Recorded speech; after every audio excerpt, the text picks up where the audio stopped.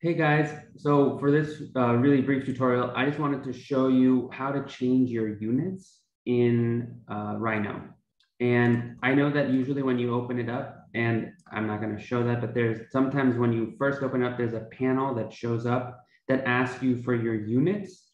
Um, and if you don't choose anything very quickly, it just continues and loads it as a default.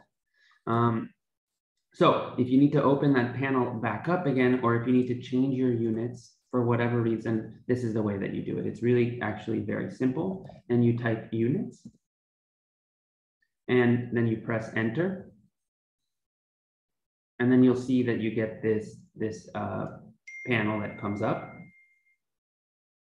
Um, once you have that panel up, you'll see here that it says model units in feet, and you can choose, there's a, a, all sorts of different types of, of units that you can choose.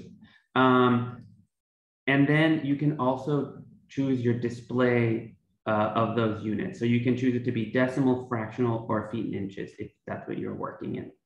And then below that, there's a question about your precision. So that means that how to, to what degree it shows on uh, on if you were going to use uh, dimensions. That's not to say that it's not more precise than this, but it is to say that that's what it will display as accurate, okay?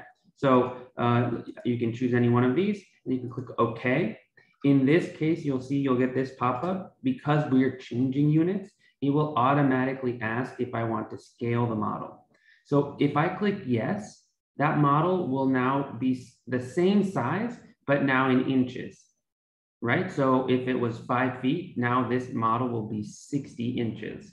However, if you don't want it to scale, you just want to change from one unit to another, then you would just click no. And if it were five feet, then it would just become five inches.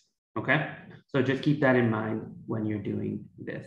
Okay, so in this case, I do want it to scale because I want to keep it the exact same size, uh, just change the units. Okay. I'm going to click yes, and you'll see here that it's scaled, it scaled my, my object relative to the groundscape. Okay, and so uh, that's it. That's it for, for units.